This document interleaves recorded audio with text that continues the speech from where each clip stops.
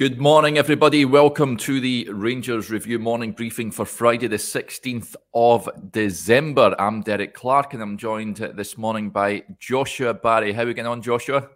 Good, slightly warmer than last night, Derek, although not that oh, much yes. because it snowed in Glasgow uh, last wow. night. So I know, I know. What, what what's Rare. it like out in the streets? Well, it's that snow where it's not. It's a little bit Slushy. like a little bit sleety, but um, okay. I've not sam I've not sampled it yet. I'll let you know. Well, we've been doing uh, we've done a temperature check yesterday, uh, myself and Johnny Joshua. So uh, uh I'm going to press you to to, yep. Uh, see what the temperature is. It's at minus six in uh, Warrington this morning. I don't know if you can see that. Is that, the is that the weather app you're using? It is the weather app. Yep. There we go.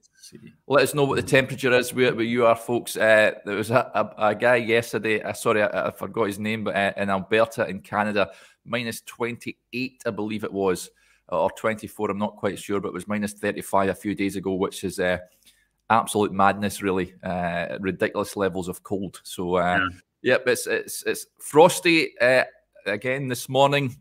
It's given um, me it's given me three degrees, Derek, which is wow. I know, you but it doesn't feel it doesn't feel like three degrees. So, um, make of that well, what you will. Well, Matthew Ross uh, from Shetland says uh, it's three degrees there, so he's getting his shorts on. uh, Al, Al C says uh, four inches of snow in Dunblane. Wow, quite incredible, really. Um, looks like we may have a a white Christmas. Uh, four inches, uh, Blair says, and, and Stirling as well in snow terms, but romantically not so good. Uh, just take extra care if you're heading out there, there, folks. As ever, it's an absolute ice rink where I am here uh, in Warrington. I've not really seen any gritters whatsoever. Um, so uh, yeah, take care if you're heading out on the roads. Minus one in Norwich says uh, Ian icy as hell. Yeah, absolutely. Uh, and Jock yeah, gets in touch from France. Morning, guys. Face sunny and freezing France. Minus five here. Um, whereabouts in France are you, are you from, Jock? Let us know. Is it Northern France or I'd imagine it will be if it's uh, uh, minus five. Uh, three degrees and raining in Rothesay. Uh, tropical over there uh, for Origami Dinosaur. And Denzel uh, gets in touch. Hi, Denzel. He says, there's snow here uh, in Gartahan. So, uh, yeah, seems to be a lot of snow all over the all over the shop at the moment. So, uh, yeah, it seems like we're moving into sledging weather. Are you a, a sledger, Joshua? Yeah, if the, if the snow's there, Derek. But um, I don't think this is not sledging weather today in Glasgow. Anyway, no. we, you know we've done almost three minutes of the weather. Let's speak about the game. Yeah, yeah, yeah. That's why people are tuning in. Of course, it's not uh, the weather review; it's the Rangers review, of course. So let's talk Rangers. Before we do that, you can see a little Christmas offer uh, ticker below, folks. Uh, you can sign up to the website just now, just one pound uh, for two months worth of content. Uh, head over to rangersreview.co.uk forward slash subscribe for all the details. And it's great to talk about a Rangers win, Joshua. It didn't look like that, I've got to say, after the after yeah. uh, uh, large spells of that that first half. Um, Rangers, of course, uh, lining up a very surprising formation, you could say. No Antonio Čolak or Leon King in the matchday squad. We were told afterwards that Leon King uh, was ill uh, and Antonio Čolak uh, was ruled out yesterday afternoon with a calf niggle, so they were not part of the squad. It did see um, Adam Devine start at left back. We'll touch him later on. Uh, a makeshift centre back pairing of John Lundstram and James Sands. We've seen Ryan Jack and Glenn Kamara uh, in midfield with uh, Malik Tillman and Ryan Kent supporting Fashion Sakala and Alfredo Morelos up top. And um, Hibs took the lead pretty early on. Ryan Porteous with a, a free header from a corner. Really, really poor goal defensively for Rangers to lose. We'll talk about the defensive uh, problems in a minute. Um, they then then equalised through Fashion Sakala, well taken strike from the, the Zambian into the, the bottom corner. Uh, only to uh, lose another goal 53 seconds afterwards. Uh, really was a calamity. The ball played through the middle of Sands and Lundstram and Kevin Nisbet uh, finishing past Allan McGregor. But Rangers responded in the second half. Um, Mike Beale said that he had to calm the players down at halftime. There was a lot of anxiety in the air. They came out second half, uh, and Hibs really offered very little uh, going forward, and Rangers dominated. Uh, from then on, got the equaliser. Lovely goal. Love to see the Malik Tillman Joe Aribo style flick on at the near post from a corner. Uh, Ryan Jack with a great striker's instinct to, to bundle the ball home. And then uh, Malik Tillman with uh, great feet uh, to set up the winner. Alfredo Morelos with a tap in. and we've seen that the knee slide once again, which was uh, fantastic to see. And that's how it finished. Joshua, three-two Rangers. Uh, what was your big? What was your main takeaways from the game? Yeah, um, I thought Hibs controlled the first half, and, and Michael Beale said that um, he, said maybe I have to look at myself and say I put too uh, much emotion into the occasion, and the players played like that. There was a lot of anxiety. Uh, you could tell when the game went two one to Hibs. Obviously, not helped by the fact that Rangers had no um, out and out centre backs. Um, James Sands has obviously played there a lot this season, but normally next to a, a Leon King, Connor Goldson, Ben Davies. Um, but it looked like Rangers didn't have any uh, fit out and out centre halves, which um, was the case. I thought Hibs targeted their weaknesses pretty well. They got the ball forwards. I thought they were much, they were dangerous in transition. And one of the many things that Beale said in the press conference after was that Rangers started to win those duels and that allowed them to regain pressure. And Lee Johnson, contrastingly, said that the balls that Hibs played out from the back into their strikers weren't as good after half time. Um, but the, the piece that I've written this morning, Derek, which will be up on the website soon, kind of focuses on on what Beale said that he changed at the break. Rangers uh, brought Ryan Jack slightly deeper. They moved Ryan Kent uh, slightly wider, Tillman slightly higher, and they had to basically go around Hibs. Hibs are sitting in, in uh, a kind of mid block where there was a little bit of space in behind them, which obviously you see for Tillman's third goal. Um, and again, to, to quote what uh, Beale said after he spoke about Rangers playing closer together, quicker passes forward, more runs forward, um, because in the first half it didn't really look like the football that's been spoken about for this two week period. And, and Beale said, uh, as you say, the, the message was to calm down his, his squad at halftime. Mm. But as well as that, uh, the, the question that he uh, went with in the press conference was, what type of football do we want to play?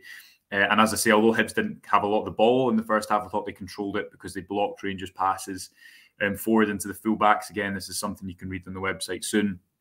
Um, I, I, thought they, yeah, were, were were the team that was uh, in the ascendancy. They looked more likely of adding a third at points than Rangers did of adding an equaliser before half time. Uh, but after half time, I don't think Hibs had a, a, single chance in the second half. Rangers took advantage of, of what they were doing, which was which you know being slightly passive, trying to get numbers around the ball. Um, and uh, and and I, th- I, think Rangers did that really well after the break. So this the second half, much more of an, an, indication, I think, of the type of football Beale wants to play. But he said he didn't think it was a good uh, performance uh, overall. Again, probably uh, given that lack of control in, in the first half. When you're playing without centre backs, there go. Um, that, that's probably going to happen. The second goal in particular is just so so poor to lose after Fashion Sakala had scored a good goal after some good play by Ryan Kent, who I thought alongside Alfredo Morelos looked much more like the old self. And obviously Malik Tillman again. I, I, tweeted out after I don't think anyone else in the squad could could do that. Has the technical capability and the speed of thought to just um, do something that you don't even consider when you're watching it could be a potential. Um, but he, he, just moves so quickly, and um, yeah, him playing higher up after the break, I think certainly helped uh, Rangers to to turn the game. Yeah, absolutely. Um, lots of comments uh, coming in here. I'll try and get to a few of them. First of all, this shows the dedication, love stories like this. George says uh, arrived home 2:30 a.m. this morning. It was minus 10 travelling back to Lancashire from Ibrox, but well worth it to see the famous win. Uh, absolutely uh, fantastic. Um, this question here, T- Tillman for me, I think was was man of the match. Joshua, uh, two assists. Uh, he really is a class act. But uh, Ian Robertson says, uh, thought Tillman was terrible in the first half, had a great second half, just looking for some consistency. I think it ties in with what we've been talking about is his first full season in, in senior football. He is a young lad. Um, we've got to give him time and, and patience sometimes. But when he's on it, he's he's arguably the best player in Scotland. The, the, his close control is exquisite. He sets that winning up for Alfredo Morelos by it. He's great in the air, as we've seen with the goal for Ryan Jack.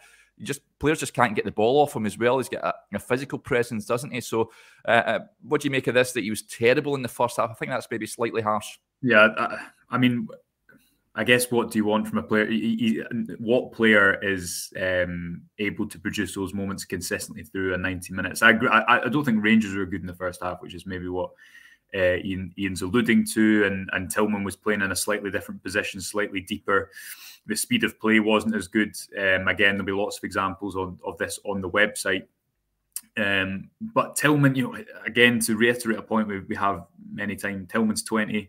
This is his first professional season. Um, and yeah. he's producing, think of all the big moments that he's produced go back to the last home game uh, Ibrox in the league, that Hearts winner yesterday. You're right, Derek. Not only does he, he get the assist to level the game, but he's the one that produces the bit of quality to create that chance. Not out of nothing, but again, I don't think anyone else in the squad possesses that that speed of action and, and speed of thought. Um, and, and he's 20, and I, I think he, he will only get better. So um, I, I think he's suffered at points definitely from the fact that what's going on around him, the fact he's come into a team that, that hasn't been performing anywhere near the, the levels they can reach. Um, and he's had to become a leader quite quickly if, if you think about the, the, other attackers around him who haven't been performing to their levels. Saying that, as I, I thought Kent was much better um, uh, yesterday. It's been really interesting because I always thought under Van Bronckhorst is he is he better out wide? Are you better isolating him? And increasingly, I think my opinion and many people's opinions maybe change when you see how he combines with people and, and how he, he maybe just is better when he has a lot of solutions around him. Because there was a few, there, there was one shot he took um, after he turned away, and obviously he's playing in that kind of number 10 position in the first half. And it was more reminiscent of the player he was becoming towards the end of Gerrard and Beale's era when you thought that was him coming into his prime. And, and he'd really matured from the player in his first couple of seasons who had those moments, but they were sporadic, even if he, you know, he does keep going and and keep taking the ball. So I, I agree with you. I thought Tillman was very good. Morelos as well for me just looked more engaged. Um, I know mm. that's quite simple to say on and off the ball. I, I thought he was a lot better. Um, Tavernier getting on the last line was was really effective. And and again, I haven't watched the game back this morning and just kind of writing a piece looking at because Beale came into the press conference and he effectively spoke about the changes made at halftime tactically, but also trying to reaffirm to the players what type of game, type of football do you want to play and and um, yeah, it was it was quite apparent. It's quite different after the break, and Rangers probably should have went and added a, a fourth on a, a, couple of occasions, which would have obviously uh, made it a bit more comfortable. Equally, there you're right. You can't ignore the defensive fragilities um, in the first half, even if if you've got two centre backs, does that. If it's Connor Goldson and Ben Davies, do you concede, especially that second goal? I, I don't think you do. Um, but no. yeah, Hibs, are, Hibs always seem to be quite close at Ibrox, and that's what Kevin Nisbet was alluding to in the in the press conference after the game. Um, similar to last season when it was, a, I think it was a late goal from Alfredo Morelos again to to get the win for Rangers. Yeah, listen, they're injury ravaged uh, uh, as well, Hibs, at, the moment. They're in a poor run of form. Uh, Colin Cooper gets in touch. It was three assists for Malik. Of course, he had that touch that, that changed the direction of the flight of the ball that, that, that Nisbet latched onto. So, uh, yeah, technically it is uh, three, Colin. Um, let's get to a few more of these. Um, William says, uh, Beale said uh, Colak would have started if he was fit would he have played instead of Morelos or alongside him? Uh, Probably alongside Joshua. Yeah, that's what yeah. he said. He was he was asked about it, and, and King and Colak were both supposed to start, and, and he was asked effectively would Colak have been in place of uh, Morelos or alongside him because Sakala had only played 30 minutes, you'll remember, at the weekend. Yeah.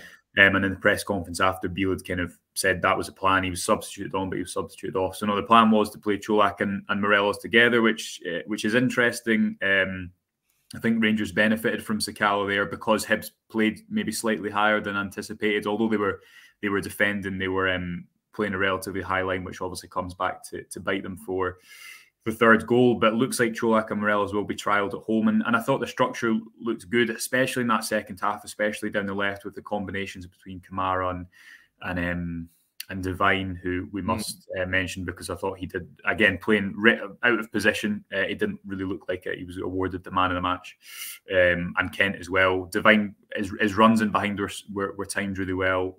A few you could see his, his left foot was weaker than his right. um, but yeah, overall to be thrown into that type of game again with the anxiety at half time and the potential for it to go wrong. Uh, Beale said before the game the message is that, that we trust him and um, yeah, he was he was repaid by that because I thought Devine did really well. Yeah, for me, it's it's the composure on the ball for, uh, that, that, I was impressed with. Um, he doesn't look flustered. He looks assured. He's more than willing to to help uh, in the attacking sense as well. Uh, I was really impressed with young uh, Adam Devine last night for a young lad as well. I mean, he's only played a handful of games for, for Rangers, so um, I thought he was he was fantastic, and I don't have any qualms about him playing uh, at Pittodrie on Tuesday night, which which ties in with this comment from Ian McDougall. Uh, Joshua, with Yilmaz out for another five weeks, does Devine keep that spot even when Borna returns? Um, listen, I think it says jersey just now. Um, Redfern, that was. Uh, that was a bit of depressing news last night from the press conference. That is, it's the worst possible hamstring injury that, yeah. that he suffered. So, I mean, I think he's halfway uh, th- through a 12 week uh, process. I think he's at week five or six, if I'm not mistaken. Six, so, yeah. Yeah. So yeah. Uh, listen, Devine, if he keeps up that level of performance, uh, I think Borna's got a, a, job in his hands getting that shirt back. Yeah, I mean, there was positions that Devine got into that you saw if it's a left footer there or someone who's more comfortable on that side, it's, it's more dangerous. Um, and I think especially when you're trying to break a team down to have that kind of natural width to stretch teams. But um, he didn't play. I think uh, Beale compared him to Jon Flanagan, not compared him to Jon Flanagan, but a left mm. footer, a right footer at left back yeah, yeah, um, yeah, earlier in the week.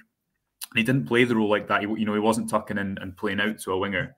He was often the widest player um, playing inside. And there, there was one pass in particular. I think it was for I think it was when the game was two all. Um, again, just going back to that play down the left in, in the second half where Rangers created so many overloads and, and looked so dangerous he was able to play a couple of those passes inside when Rangers uh, got an extra man over and Kamara and Kent rotated. I, I, thought they worked so well in tandem together, Kamara and Kent, and Kamara just looks so much more natural playing a role that, uh, let's be honest, that suited him coming towards the ball, still going in behind at points, but again playing closer to his teammates and and um, with with more opportunities uh, to combine. So I, I, do agree. I, I, think Devine is his place to lose. Obviously, his more natural position is um, right, right back.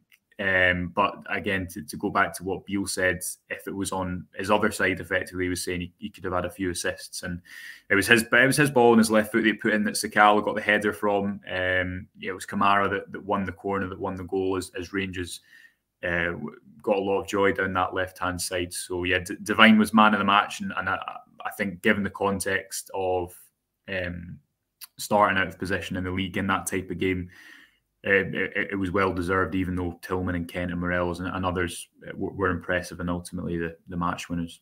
Yeah, Jim says Borna is back fit for him. His experience is needed with us having to make other defensive changes. Yeah, I get your point, Jim. Um, but I thought uh, young Adam Devine did uh, did himself no harm whatsoever last night, uh, that's for sure. Um, lots of comments coming in. Uh, we'll touch on a few more of them here. Firstly, David Kerr gets in touch. This doesn't sound too good. Sorry for being late, but this slip disc is just brutal. Troops, great win, guys.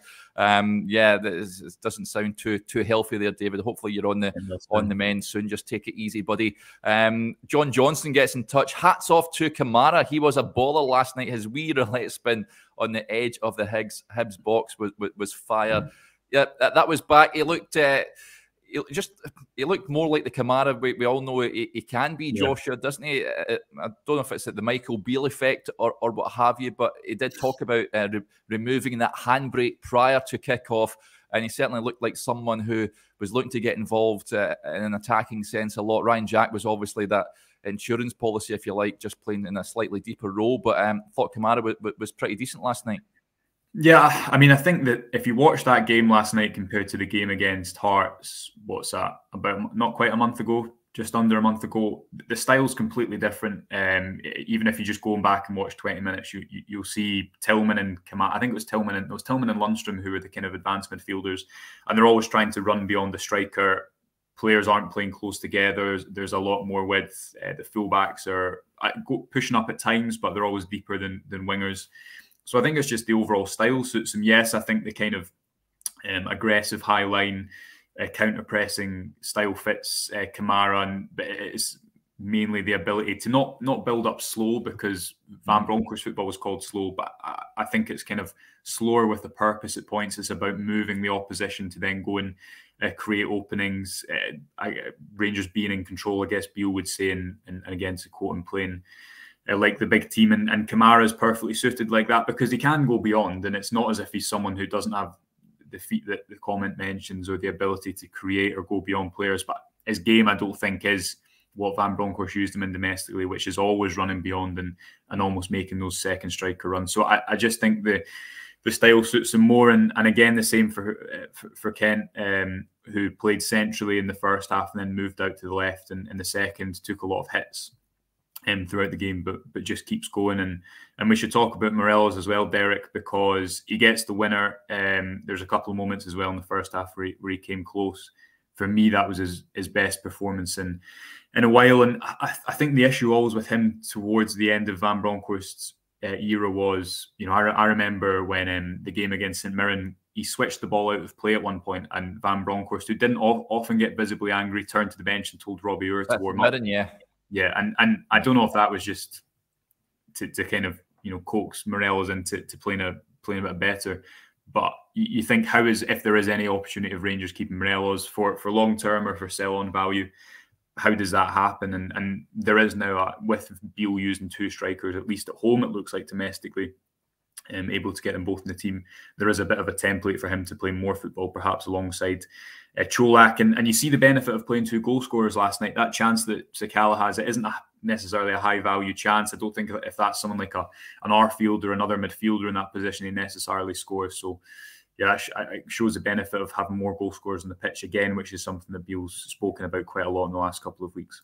Yeah, that Sakala chance. It was a 0.08 XG, and when he hit it, it was a 0.6. So, uh, so that tells you how uh, good a strike it was from from Sakala. Uh, that analysis, folks, um, will, will, be on the site uh, shortly after this video, so so keep your eyes peeled for that as we delve into the detail of last night's win. Um, Craig Hutton said uh, Morelos looked sharper uh, and slimmer. He was coming in for a bit of criticism at half time. I noticed, especially on social mm-hmm. media. I thought he'd done okay. Um, he wasn't the worst player on the park, but yeah, certainly that goal and the winning goal will do him the world of good. And you can't help but, but love the celebration, the knee slide, and the fans chanting his name again uh, um, will do him the world of good, I think, as well. So long may that continue from Alfredo. He's got a long way to go to um, to, to build that, that, that trust again. I think uh, amongst the, the supporters. Um, after what has been a very abject season for him so far. But uh, if he continues scoring winners and, and goals like that, uh, then uh, I think that will do him no harm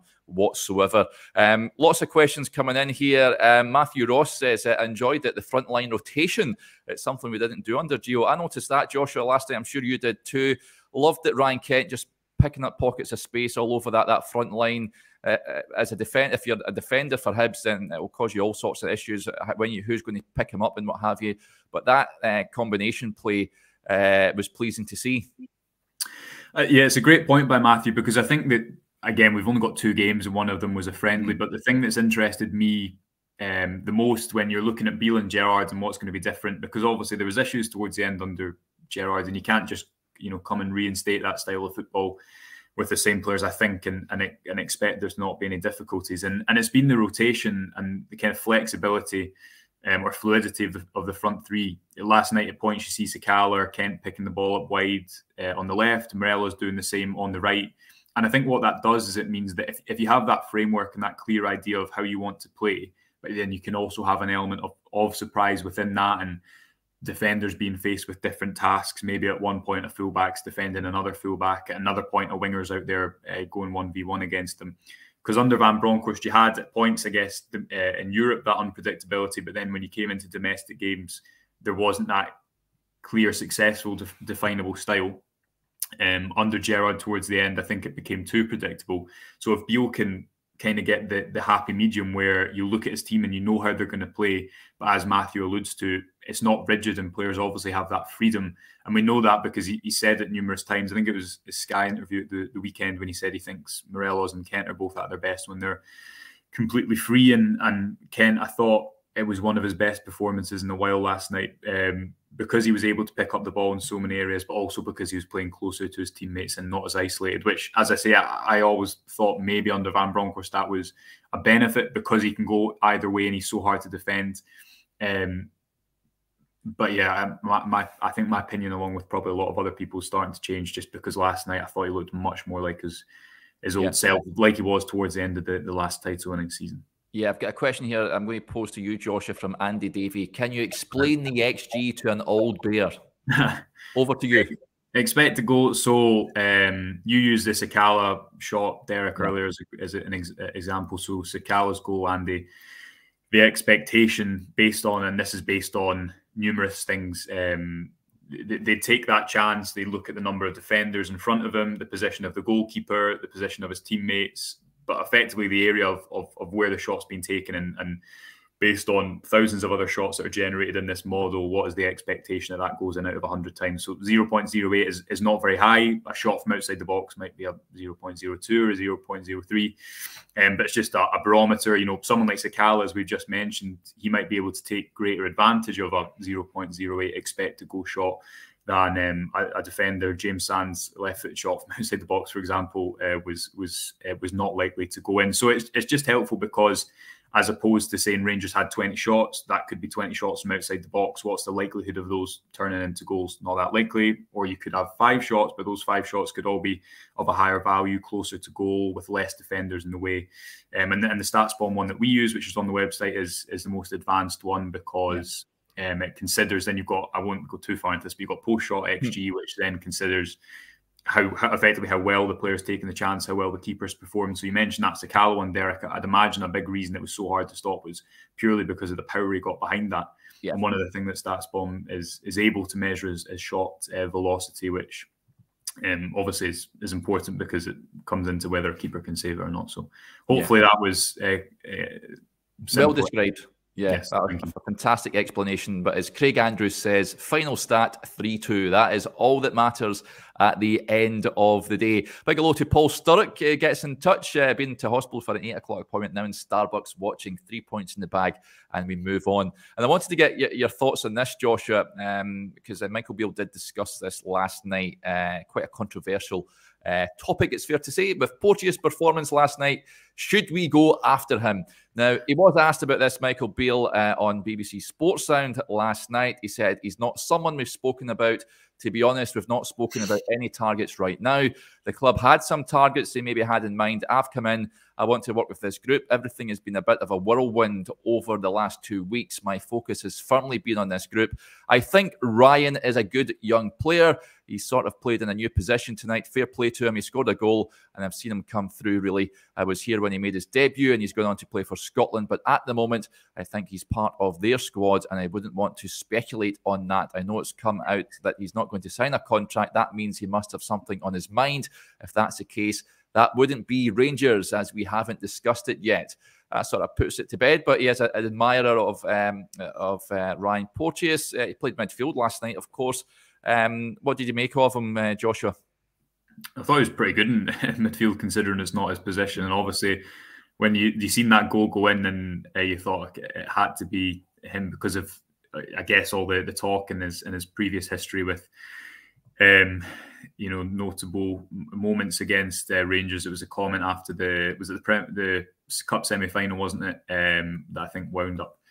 Uh, definitely wound up a few people, uh, but Beale, I guess Beale's comments, as you say, put it to bed. Yeah. Um, that uh, equally, if if there was something going on behind the scenes, I don't think he's going to come out and, and say that in an interview. You know, no one knew about the team news the day before in the press conference. Sometimes managers don't say what they don't want to say, but yeah, I'd be I'd be surprised if, if he did end up at Ibrox. Um, but um, I, th- I, thought he, he, did pretty well in midfield last night, given that wasn't his isn't his natural position. Yeah, RFC 56 says you should feel ashamed, Derek, by asking that. to apologise. No. We'd just like to, to, to answer, uh, ask the, the, just the questions that are posed in the comment section. That I like to involve as, as much as possible. so right, I, I, do apologise uh, for, for bringing that up. And, and hello to uh, Darcy Smith who gets in touch. Uh, uh, she says that she is a, a, Huddersfield Town fan. Of course, Kenny Miller down there, his first team coach, yeah. Uh, joined up in the last uh, couple of weeks. So wish Kenny all the best down there, uh, teaming up with Mark Fotheringham uh, down there at Huddersfield. Uh, good club, uh, the Terriers. Um, so uh, wish hope they have a, a good season. Uh, from here on in. let's get to a few more of these questions. Quantum Skyline gets in touch. Firstly, Joshua he says, Josh agreed having been at Ibrox last night. Uh, the game was okay, but that was the coldest he's ever felt at the fit. I couldn't feel my feet by half time. How cold was it, Joshua? Yeah, we were saying this before we came on. Um, first half, I was actually okay, and I was thinking, have I have I dodged it? Um, and then by the end of the game, I was so cold. And uh, but t- tell you what, you like this, uh, Derek David Edgar, good friend of the show, had a heated uh, cushion with him. So wow, yeah, that's how that's how he he kept himself warm. But yeah. I mean, it was so. cool. I was doing the TikTok at the end. Um, yeah, I could see your breath. It was, it was almost like stars in their eyes it was I had to I had to stop it a few times because I was so cold and if you just kind of fogged up the camera. So um, yeah, it was. I, I, will. I don't think we'll be at a colder football game than that for a while. Um, mm. Until Ross County probably actually on the, on the 23rd or Aberdeen Oof. next week. Yeah, yeah, that's going to be a cold one. You can you can God, I'm getting just chilly just thinking about that. Uh, Andy Mack says Union Bears were superb last night. Yep, I have to take my hat off to them. A great display again, celebrating yeah. their, their 15 year anniversary. Um, nobody does displays like them. Another fantastic tifo, wasn't it, Joshua? Yeah, it was. Uh, it was. Um, you, where I was sitting, you couldn't quite work it out until I've yeah. seen a photo of it from the the other side of from from the Copland side of the stadium. But um, yeah, it was it was it was impressive. One of many uh, impressive tifo displays, um, which always obviously helps create a fantastic atmosphere before the game. And then then there was there was other things as well uh, when the game started, and then at halftime as well. So it, it was a great yeah, game. It was, it was, a really good occasion, and and um, you know when Sakala scored, the stadium really got up for it, and then him score yeah. and um, I, I, think everyone was just stopping celebrating by the time that Nisbet puts the ball in, in the back yeah. of the net. Um, but yeah, it was it, it, was a fantastic atmosphere, especially when Morelos scores that winner. So good yeah. to have a night that I think did it did justice to to the occasion of a, a new era uh, and a new manager. Yeah, yeah, absolutely. Certainly plenty to work on. Michael Beale did touch on that in his post match interview. I don't think anyone was getting carried away uh, defensively. He did say he has to get his uh, centre backs back, uh, and I'd imagine Ben Davies will be. Um, well, we, will have more training sessions, as will Connor Goldson, uh, of course. So I think at least one of them will be playing on Tuesday at Pittodrie. Derek Hood says, uh, Thanks for the explanation on the XG, Joshua. It was clear and concise but I still don't have a clue what you're talking about. So, uh, no problem at all, Derek. Um, That's but, what I was going for. Yeah, yeah, yeah. Uh, excellent stuff. Right, folks, I think that will do us there. Thanks to everyone for getting in touch with the programme as ever. It's greatly appreciated. Um, what will, uh, just a reminder the Christmas offer we've got on the website, just a pound for two months worth of content. It's packed full of Rangers.